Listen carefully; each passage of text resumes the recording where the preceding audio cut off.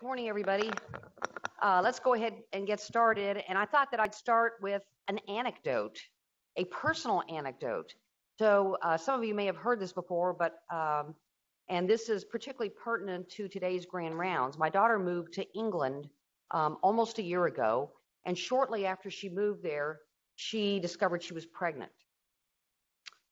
She was immediately signed up with the National Health Service. She was seen by a midwife um, at uh, regular intervals, had her ultrasounds, and then had a home delivery that was attended by two midwives. Uh, afterwards, during the time that I was there, a health visitor came by and looked at the baby, did all the usual type of five week milestone things, you know, asked my daughter how everything was going, um, you know, gave her some information and some advice on this, that, and the other. This was uh, no questions asked. How long have you known you were pregnant? You know, do you have any other medical conditions that would make it difficult for us to insure you or uh, anything um, of that nature? Fortunately, she did very fine and has an absolutely beautiful baby. So, um, apropos to that, I'm very excited about today's grand rounds and to introduce our guest speaker. Um, I'm going to ask Dr. Barb Casper to come up here to the podium um, and introduce her.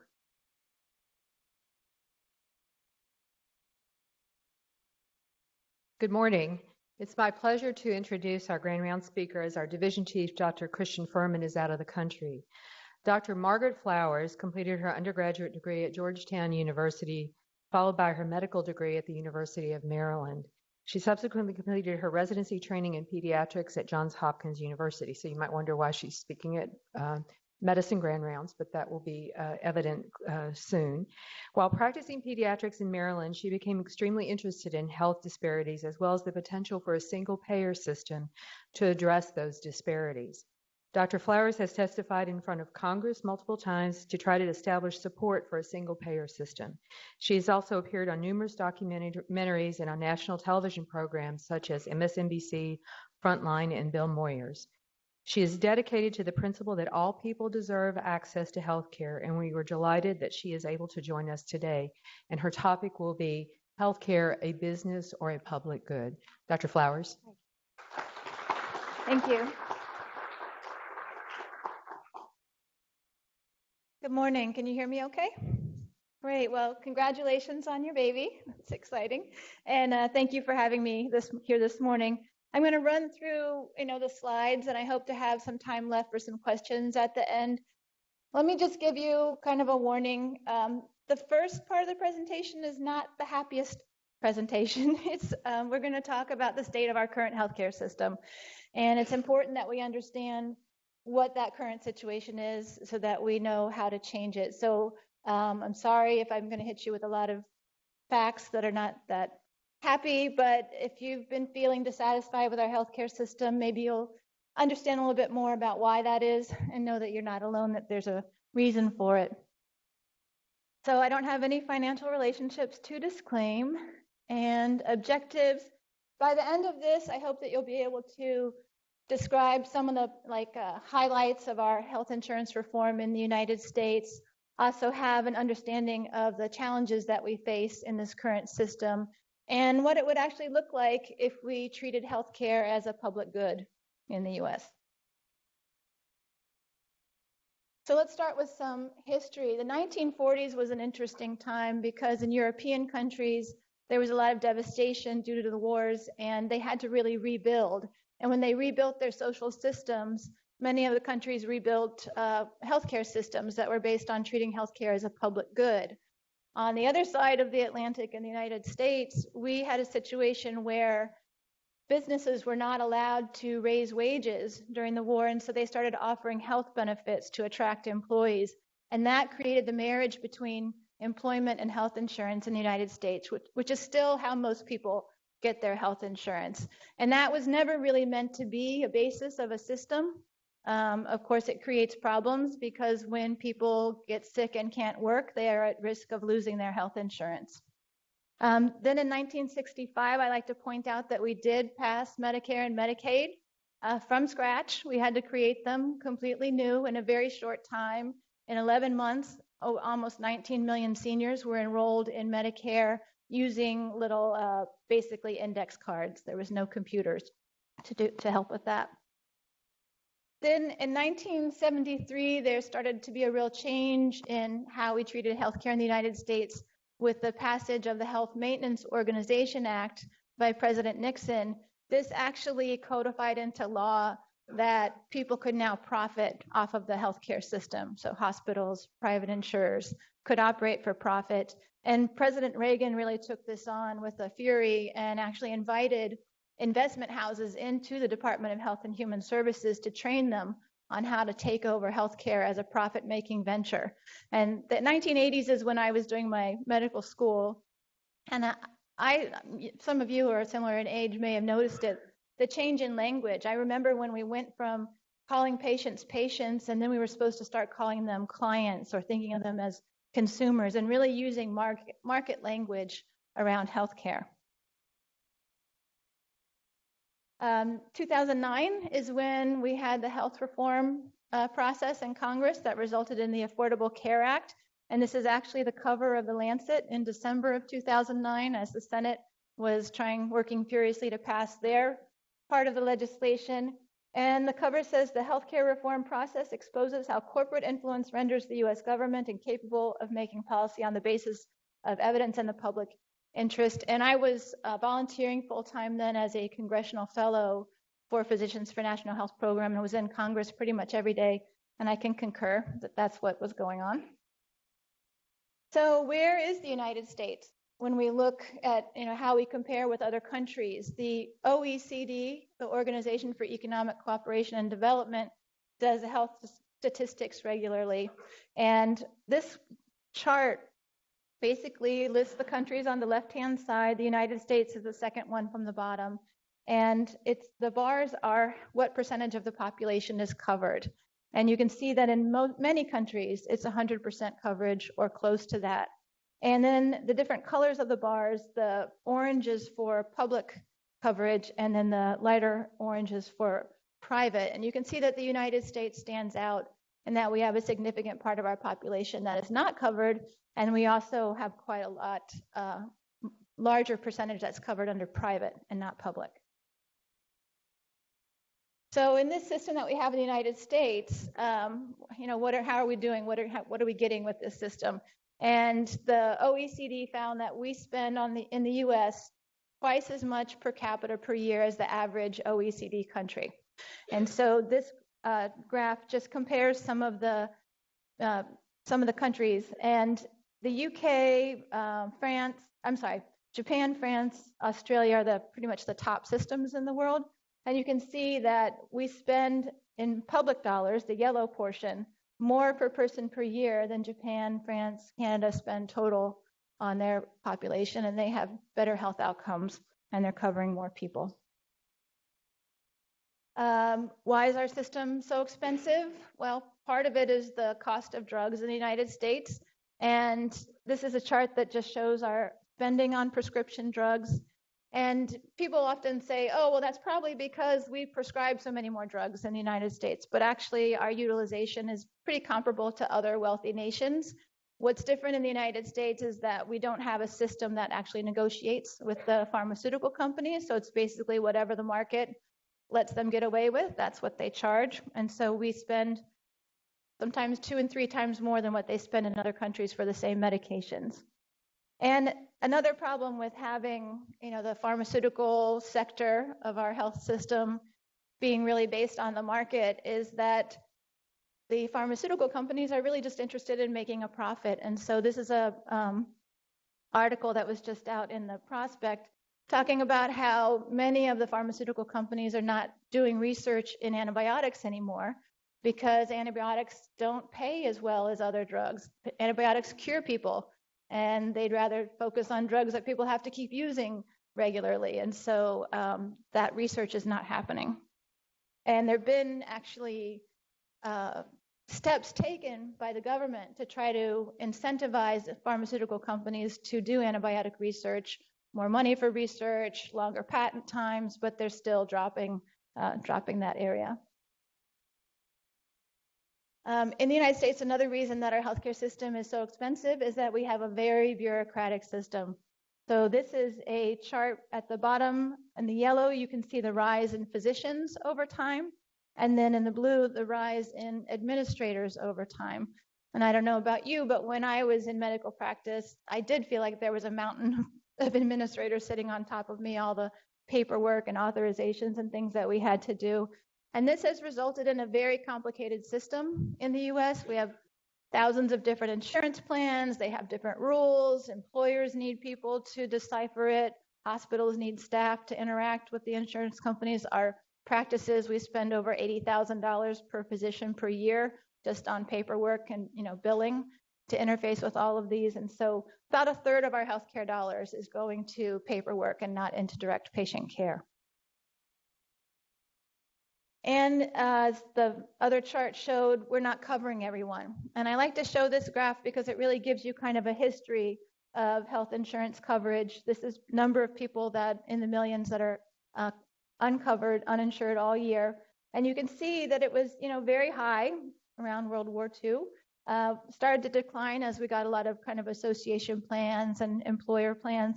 Then in 1965, we saw a significant drop with Medicare and Medicaid. And it started to head back up again um, in the 1980s, 90s, and so on to another crisis level in the mid, you know, 2007, 2008. We had about five, uh, 50 million people who were uninsured. In comes the Affordable Care Act. We see some drop in the number of people who are uninsured. But as we kind of predicted at that time when the ACA passed, that number has kind of leveled off. It we had, uh, I think, about 4 million more people who became uninsured overall in 2016. 2017 stayed pretty steady, but we're pretty much anticipating that the number of people that are uninsured is either going to stay steady or continue to rise slowly over the next couple of years if we stay in the same course that we're on right now. And another uh, trend in the United States is that in addition to people without insurance, we're seeing a growing proportion of patients who are underinsured so these are people who have health insurance, but the cost of the deductibles is more than 10%, or the, sorry, the cost of their healthcare spending is more than 10% of their income, or if they're low income, uh, more than 5%, or the cost of the deductibles alone is more than 5% of their income, they qualify as being underinsured. And the once gold standard employer health insurance is moving in the direction of greater underinsurance. So as healthcare costs continue to rise, employers are moving more towards these high deductible plans that have high deductibles, high, out, high uh, copays for patients, shifting more of that burden onto the employees. And what does that mean? When we look at the current wages in the United States, this chart looks at the graph in wages based on the bottom 20% and all, each of the 20% is going up. And you can see that over time, those wages have stayed pretty flat. So healthcare costs are going up, more cost is being shifted on to people. Education costs are high, cost of housing is high, um, and the wages are not keeping up with that. And what this means is that a lot of families are not able to afford those out of pocket costs. So this is looking at non poor uh, populations who have health insurance in the blue and who don't have health insurance in the yellow. And you can see that almost 50% of non-poor families don't have the money on hand to meet their deductible. And 61% don't have the money on hand to meet, it, or 63% to meet their out-of-pocket costs. So what happens in this situation is that people, as we know, are delaying or avoiding the care that they need. And this is a, an older study that just looked at what happens when patients have to make a financial decision about care? How does that impact their utilization? And they looked at the pediatric population. So the blue is children age 0 to 4, and then yellow is age 5 to 13. And you can see on the left that when there are no financial barriers to care, most of the children are getting care. This is the percent that went without a visit in the past year. And so you can see it's very low 5% of the younger children and 15% of older children went without a visit. But as we start to add on more cost uh, up front before they get that care, fewer and fewer are being seen by doctors.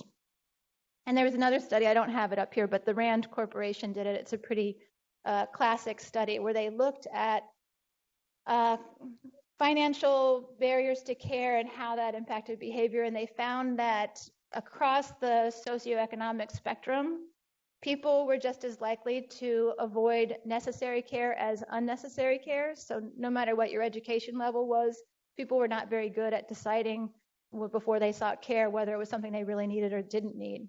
Um, and so, what happens when we forego necessary care?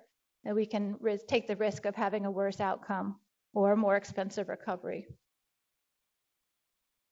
This was a kind of a natural study. It was interesting. Um, the Affordable Care Act uh, put in place a tax on what's called Cadillac plans. I, Cadillac plans are what we used to just call the basic employer plans that we used to have. And and so this was an incentive for companies to drop those Cadillac plans and move to these higher deductible plans. So this was a business that had 150,000 employees. They moved to a high deductible plan and then they looked back at how that changed the utilization of their employees and they found that pretty much across the board there was a decrease in utilization of services and that there was no evidence of patients actually shopping around for, you know, to get a better deal, that that really doesn't happen. Um, you know, we operate within insurance plans that have restricted networks, and so there's not a lot of choice there where you're going to get your care. And often when people come in for acute or emergent care, there's no shopping around at all, right?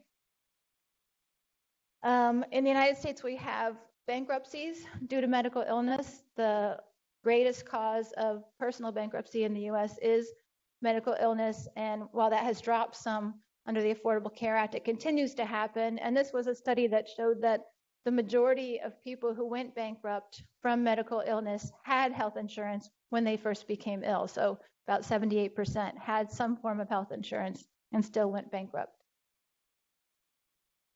Um, this is where I tell you, just sorry, that's bad news, bad news, but we'll get to a happier place, I promise. Um, we have a lot of excess deaths in the United States just from being uninsured.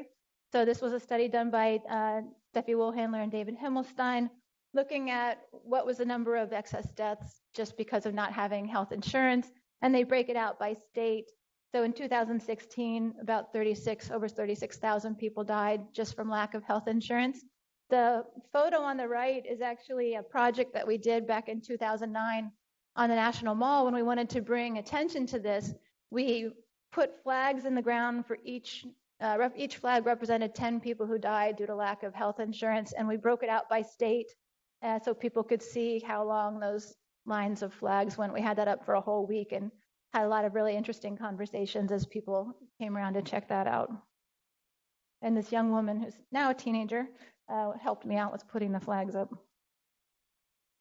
Uh, this is a study done back in 2008 looking at 19 of the top healthcare systems or 19 comparable healthcare systems in wealthy countries and looking at if each of these systems functioned as well as the top three, how many deaths would be prevented. And the United States performed the poorly, the poorest out of the 19.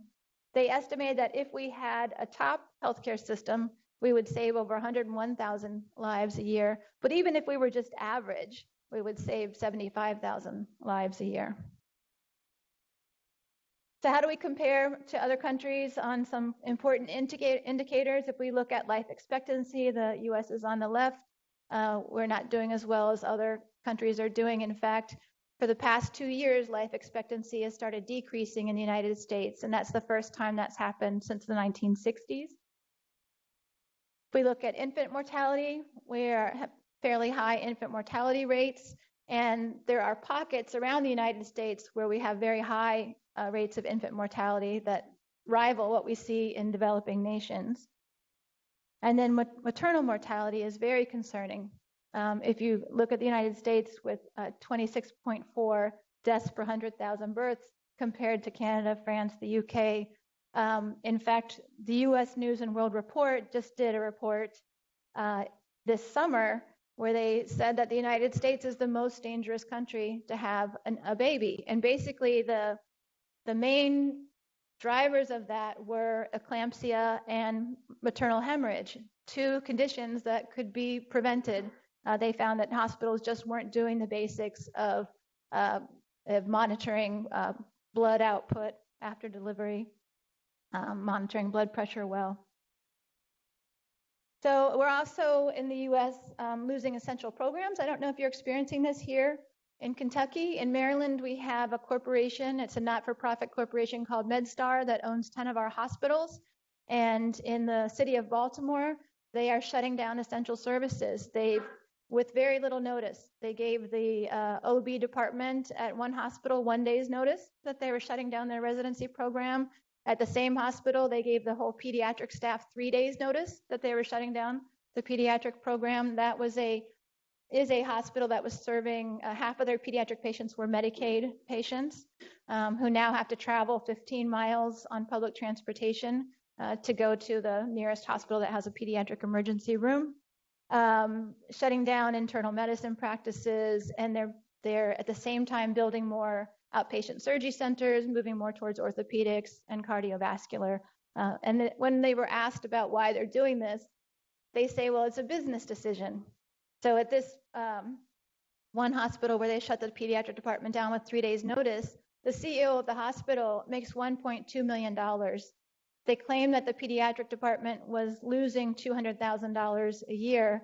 They had just asked the state legislature for $20 million to build an outpatient surgical center.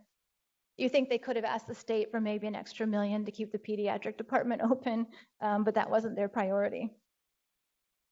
And we're losing hospitals. This looks at a map of where hospitals are shutting down in the US. 83 hospitals have closed since 2010. And you can see that a lot of those are in the southern part of the United States, southeastern part. And finally, we're losing physicians. Uh, burnout is becoming more and more of a problem. And when we look at what is causing that burnout, what positions indicate is the computerization, having to use an electronic health system that's not actually designed around health, it's designed around billing um, working too many hours, and all of the bureaucratic ta- tasks. Um, doctors are spending significantly more time on paperwork, which takes away from our time actually being face to face with our patients. And that was part of the reason I left practice after 17 years was uh, I didn't feel like I could provide high quality care when I was being pushed to spend less and less time with my patients. So if we looked at the United States as an experiment, the only industrialized country in the world that has a market-based healthcare system, I think that we would have ended it a few decades ago based on ethical reasons. Um, it's the most expensive. We have relatively poor outcomes. Didn't get into it too deeply, but we have disparities, high numbers of preventable deaths. We're losing our doctors, and we have uninsured and a growing number of underinsured people. So let's think, look a little bit about what the kind of spectrum of health systems is. And uh, here we go. So some countries use a purely public system. That would be the United Kingdom or our own VA system in the United States, where the government owns the hospitals, employs the physicians, uh, you know, owns the whole system. Then there are systems like Medicare, where the, it's publicly financed through taxes, but the delivery of care is both public and private. Then we see the mandate model, which is what the Affordable Care Act was, which is mandating that people purchase private insurance if they're not part of the public system, and then using public dollars to subsidize the purchase of that insurance. Or going to a purely market model, which is kind of where we're headed right now, and I'll get into that in a little bit, where it's it's all done by privatized, you know, under private entities. As I mentioned, the Affordable Care Act is the mandate model. It was basically a Medicaid expansion, which was the bulk of the newly insured was under the Medicaid uh, private insurance mandate, public dollars. And when we were in Congress, the private insurers, you know, always said, well, oh yeah, if you this is our trade-off. You know, we'll accept some regulation if you if you mandate that people purchase our product. And actually, if you think about, not only did the U.S. government mandate that people purchase private insurance, but we set up marketplaces for them to sell it, and we hired navigators to help them sell their private insurance.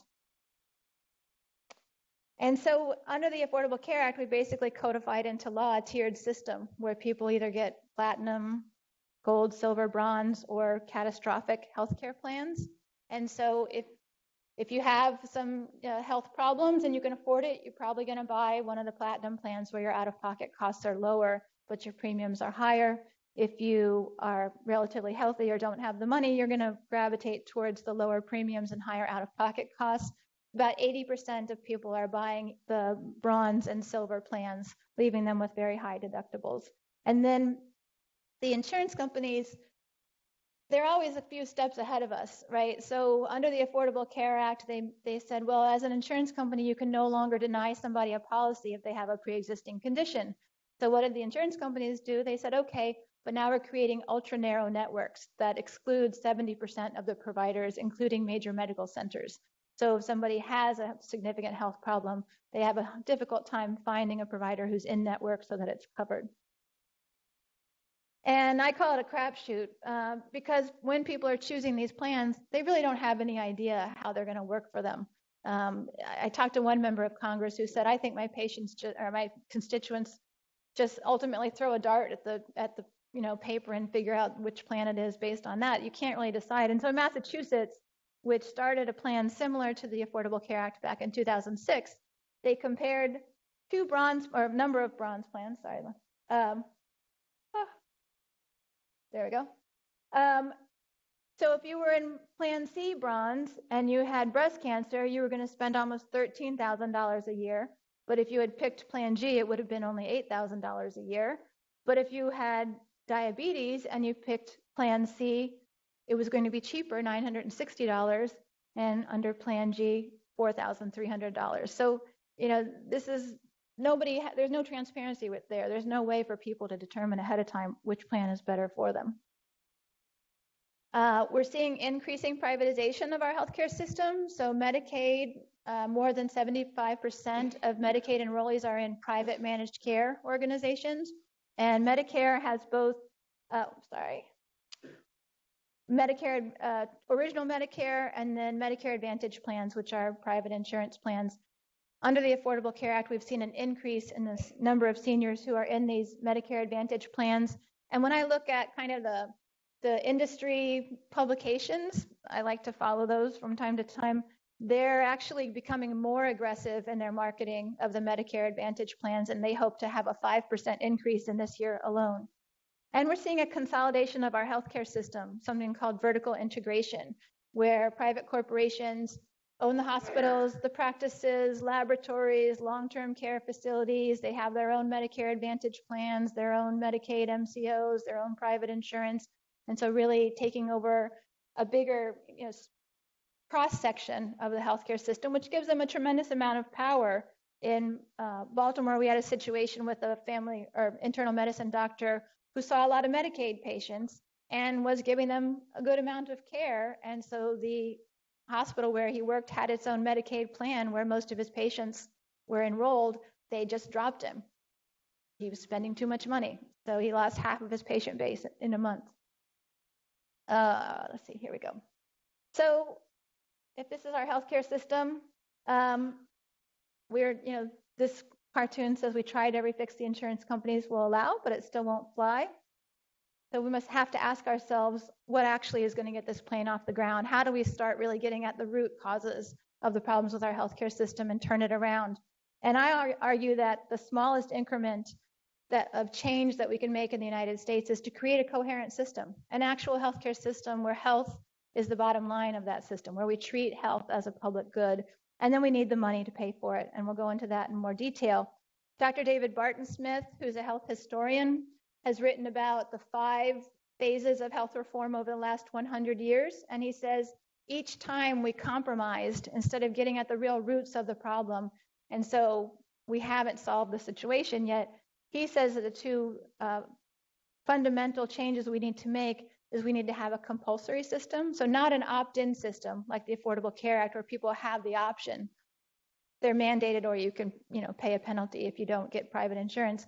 Under a compulsory system, everybody is in from birth to death. You're in the system. And then we need the ability to regulate it. And we're having a hard time doing that with the current private insurers. So we advocate for a plan that uh, was written by the Physicians Working Group, uh, which is a group in Physicians for National Health Program. And you know, if we looked at kind of that spectrum of health reform, we could have had a real debate in the United States back in 2009, 2010. We could have looked at our three systems the VA system, a purely socialized system, Medicare, which is a you know, publicly financed, but publicly privately delivered, or our market market-based system. We could have really compared how that works. But if we look at the VA, um, if we had moved to a system like a VA, we know that its health disparities start to disappear under the VA. And this was a study of over 3 million vets um, where they looked at total mortality and new, you know, cardiovascular events and strokes. And while we know that in the civilian population, mortality rates and, and uh, cardiovascular disease rates are higher in African Americans. In the VA system, mortality rates were actually lower and new cardiovascular events were actually lower for African Americans. So what are the basics of a National Improved Medicare for All, which is what we advocate for at Physicians for National Health program? It's a unified risk pool. Everybody's in the system. From the time you're born, you're just automatically in.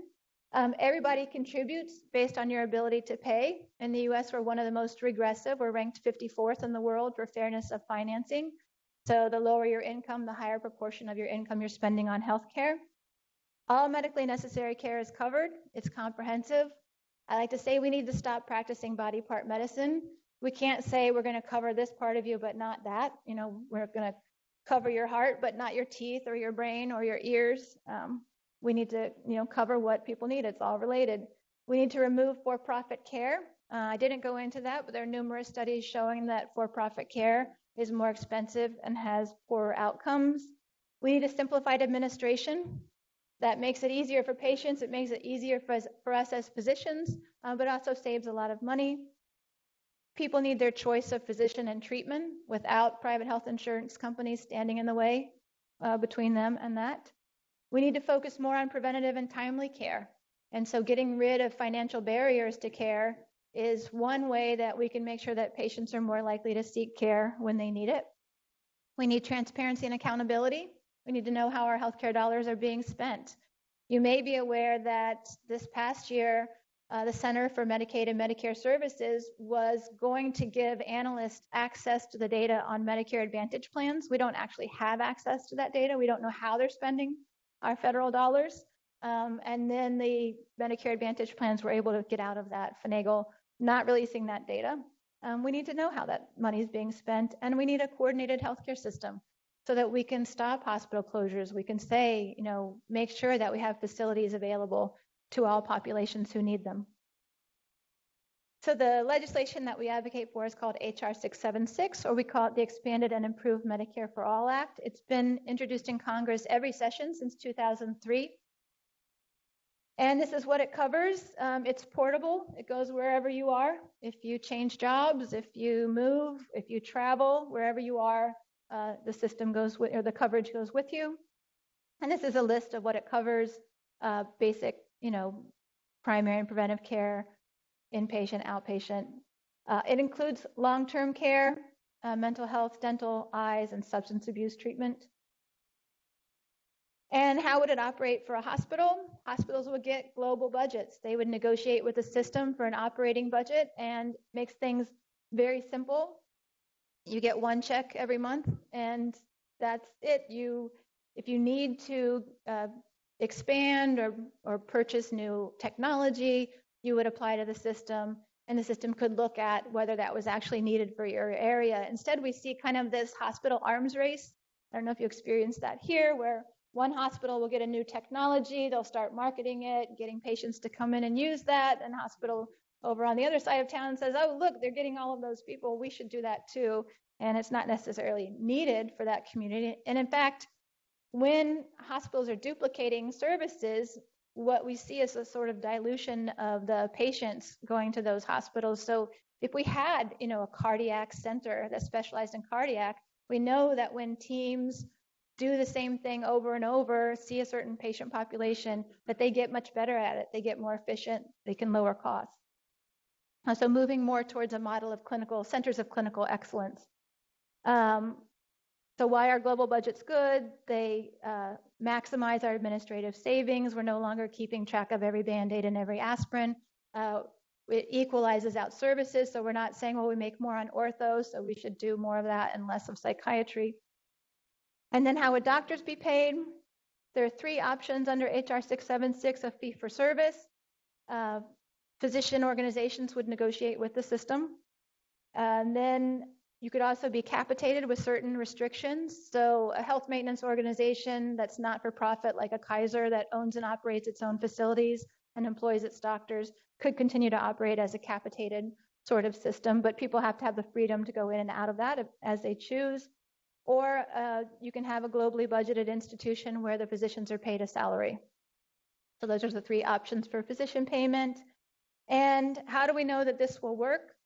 So as I said, we're spending twice as much per person per year as other industrialized nations who cover everyone and have better health outcomes. So we're already paying for a universal healthcare system. We're just not getting it.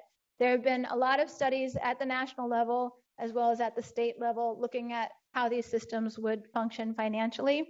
And I just pulled this one out where they, this was done on California a number of years ago, where they looked at the additional costs of covering people who are uninsured or poorly insured, eliminating copays and deductibles, would be offset by the savings that we could get by bulk purchasing, negotiating for fair prices for goods and services, reducing administrative costs, and being able to see how the healthcare dollars are being spent and where there might be areas of fraud. And so they actually anticipated a net savings of 4.3%. And then people often ask about workers. So, what's going to happen to all those people that are doing hospital billing and administration right now, that big mountain that we saw earlier? Well, about 400,000 people are doing uh, health insurance administration positions, and then we have about 1.3 million others who are employed doing other administrative types of jobs. So, that would be about 1.7 million people who would be displaced by the new system. But there are, um, you know, physicians and nurses and other, you know, health providers who have left practice to go into these administrative positions out of frustration with the current system that we're in. We hope those people would come back into providing health care. But if they don't, if people are not hired into the new system, then they would get income support and job retraining to help them. But if we put it in perspective, about every year in the US, 60 million people are displaced from their jobs, some through firing or through other reasons. So if we look at that, 1.7 million people losing their jobs is about the number who are fired every 31 days. So we already have this big turnover in the United States. It's not the big tragedy that it sounds like. And so finally, how do we know it can be done? Well, every other industrialized nation has a healthcare system that pretty much assures healthcare for everyone. They all spend less than we do. Most of them spend less than half. They have lower death rates, more accountability, higher satisfaction. And no country's ever gone to a single payer type of system and said, oh, we don't like it. We're going for a market based system. So I'll conclude there and thank you for listening.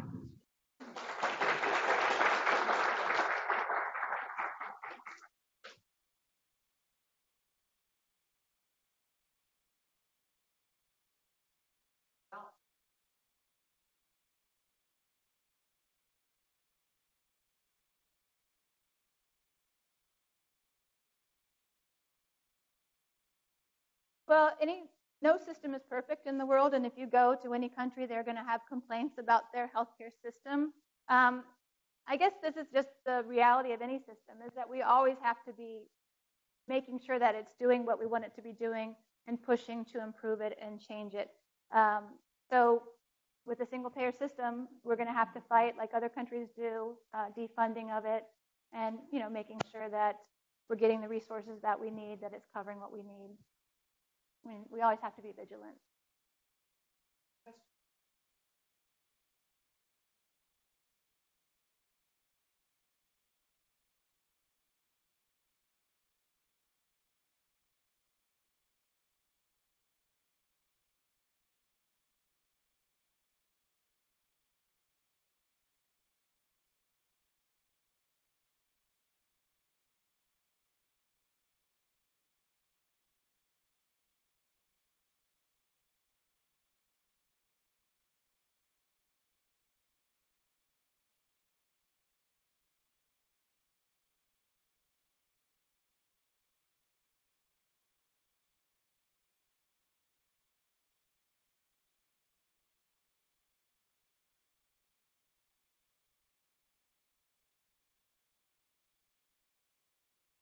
Right.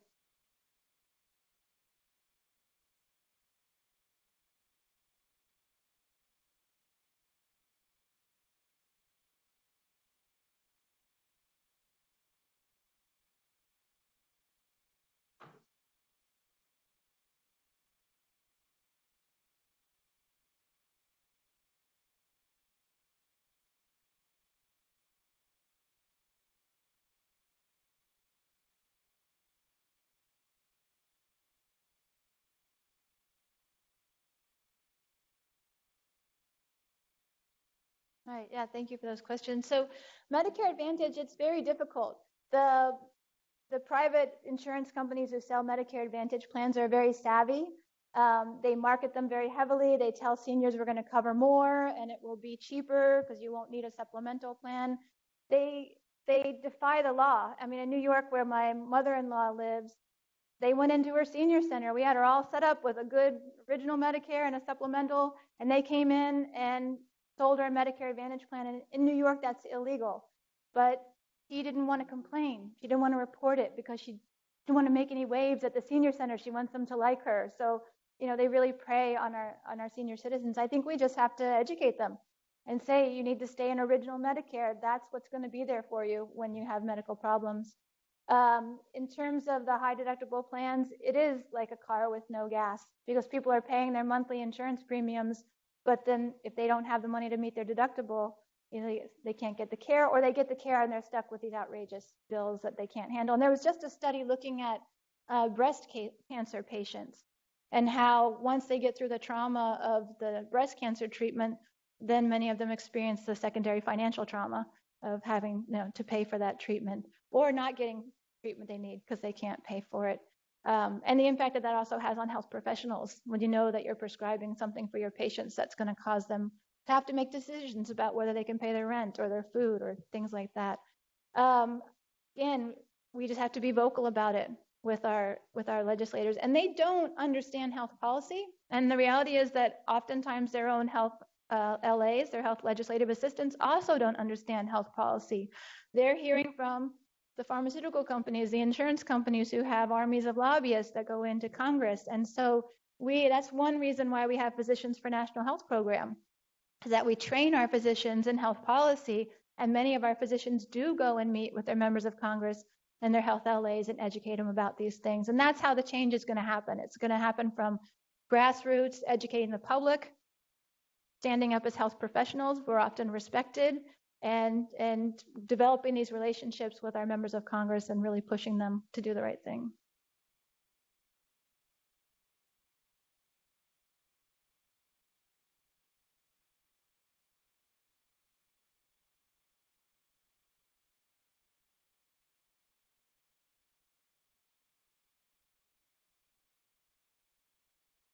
Right. So um, if you look at our spending right now, the majority of it is already coming from public dollars. Uh, so we're spending more in public dollars per person per year right now than other countries spend in total. So we would keep those those public dollars, you know, continuing to go into our healthcare system. And then on top of that, there have been various proposals that have been put out there. The basic principle we have is that it should be a progressive system so that people are contributing in based on their ability to pay into the system. So it would be an expansion of a tax, uh, probably on employers and employees, by, and making sure that people who are self-employed don't get dinged twice. And then further taxes on, on people who have wealth so that we can start to equalize the system a little bit more. Um, but we're, the, the question to, in my mind isn't, you know, how are we going to pay for it?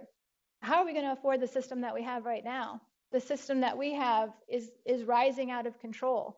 Um, they're expecting another 50, you know, that will spend $50 trillion in the next 10 years on healthcare under a single payer system, they're anticipating that would be $32 trillion. So, you know, it just makes sense that if we move to a system where we're not wasting so many of our dollars and we're actually providing care up front, um, that will, you know, we'll have a system that functions better. And it'll be taxes, yeah, but you won't have premiums or copays or deductibles.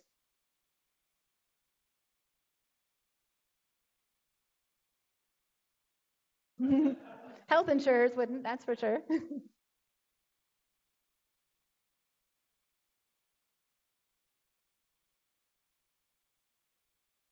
it is a powerful lobby, but I think one thing that we need to understand is that we also have a tremendous amount of power.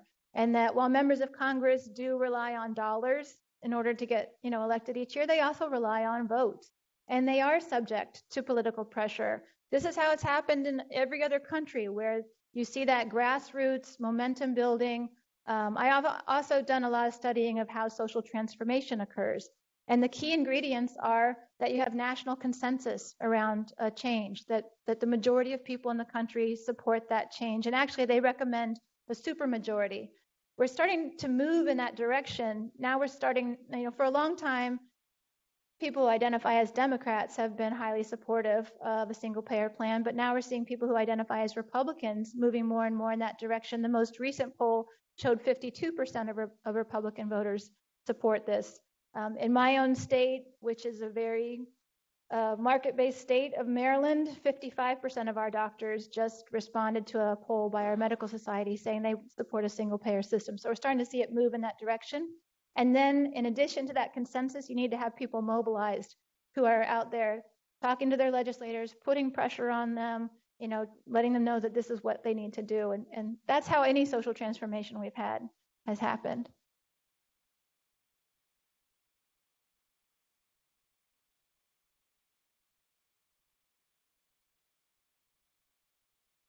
So I'm not familiar with what that is. Garrett, is that? Right. So that's one thing, as I said, we've got to, you know, put pressure on our legislators to be supportive, but we also need to spread the word um, to other health professionals that there is another solution out there. When I was in practice, I really had no idea about health policy. I just knew that I didn't like the way things were going, and that's when I started getting, you know, curious and looking into what was out there. And it took me about three years to get really solid that a single payer system would be the solution that we need. Um, so it takes time. I re- recommend visiting the Physicians for National Health Program website. They post new articles regularly. They have fact sheets and all kinds of information there, and spreading the word to other physicians that that there is something out there that that would change our healthcare system and to the public in general. We do a lot of community events. We do movie nights. Um, a lot of groups that invite us out. I'm sure Kentuckians for Single Payer. I know you have events going on all the time. Um, so get folks out to those events and, and spread the word.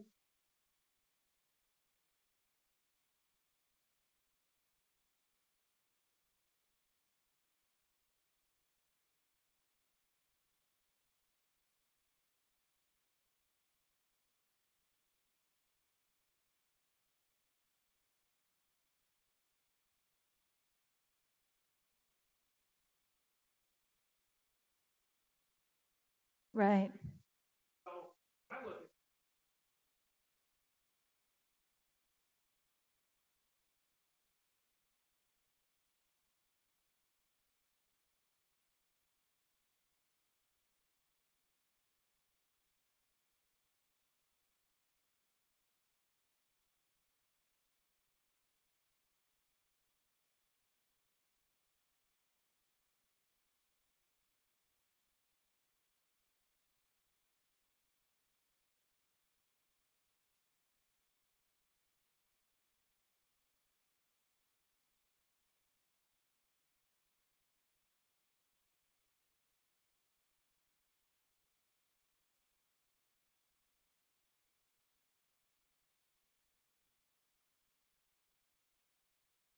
Well, what we've been seeing in the United States for a long time now is that we're not really getting the pharmaceutical companies that are doing research are, have not been doing a lot of new entities.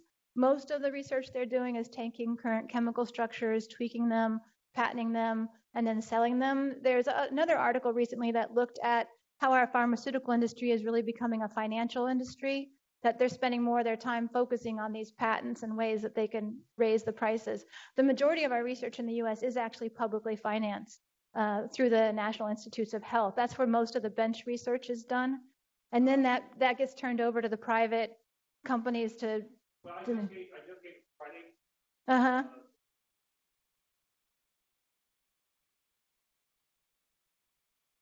Yeah.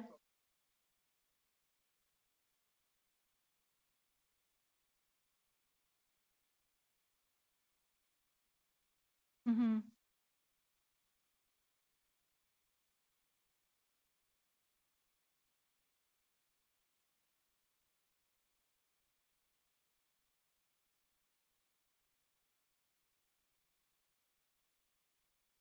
Mhm. Yeah. Right. But so 55% still is not being done in the in the private sector. It's being done through the universities and the NIH. Yeah. I mean, I think the one of the things that we can do with a with a uh, single payer healthcare system is we can start to set health priorities, and this is how other countries do it. They look at like uh, New Zealand, where Dr. Paris, who's here, who's president of Physicians for National Health Program, practiced. Every year they sent they set five top health priorities, and then they make a plan to address those health priorities. If we move to a single payer system, we can start to address what are the areas of research that we actually need. What, where do we actually need to fund uh, to address our top health problems and, and direct the dollars there. And there's actually a very good argument for moving our pharmaceutical industry more towards public financing as well, where it can be done in a way that serves, you know, the interests of our health of our population. But you know, other countries I, haven't really bought the argument that the United States is subsidizing the rest of the world because other countries have phar- pharmaceutical companies, they do a lot of research, they just have systems that negotiate with them so that they make a reasonable profit, not an outrageous profit. And if you look at Cuba, which is a country that's been, you know, under a blockade for a long time and they've had to improvise, they've actually lowered their infant mortality um, lower than the United States because they actually looked at, okay, what are the main causes of infant mortality in our country? They found infections were very high. They implemented a public program to reduce infections. They've had to create their own vaccines. They've actually lowered the number of diabetic amputations significantly, I think by two thirds, um, through their uh, approach there in Cuba out of necessity. It's not like we can't solve these problems, but we need to have a system that is actually focused on solving these problems in order to do it.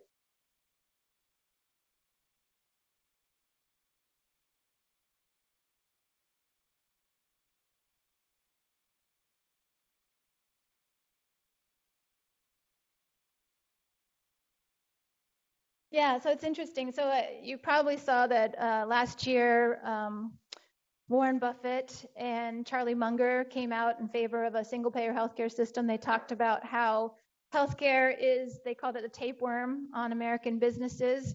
And so uh, a number of the Jamie Dimon, I guess, was it Jeff Bezos as well? Or yeah, and, and Warren Buffett uh, joined together to create something they haven't they haven't really shared exactly what that is um, but they say that they're going to cut out the middleman, which is what we're trying to do, cut out that private insurance middleman that gets in the way.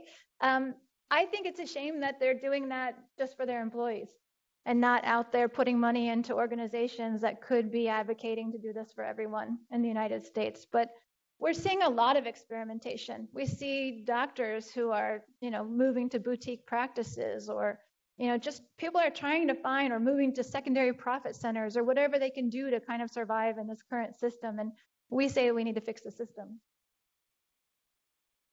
Great, thanks. Sorry,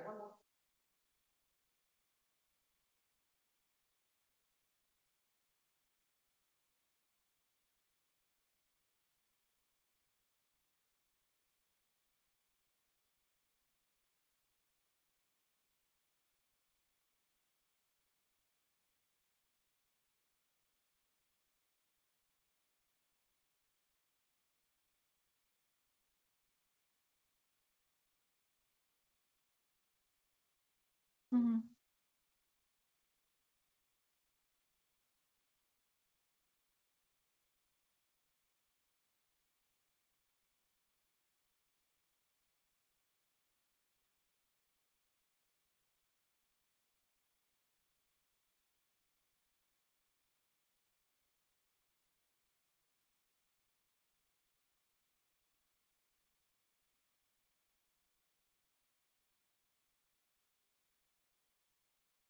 But actually, what Canada did was they started out with a national hospital coverage, and then they moved to a national health system, which they call Medicare, was modeled on our, our own Medicare system. But when you do that, you're, you're continuing to maintain the complexity and the high cost and the lack of coordination that we really need to have. I mean, the simplest way to do this is to create one system. Everyone's in it.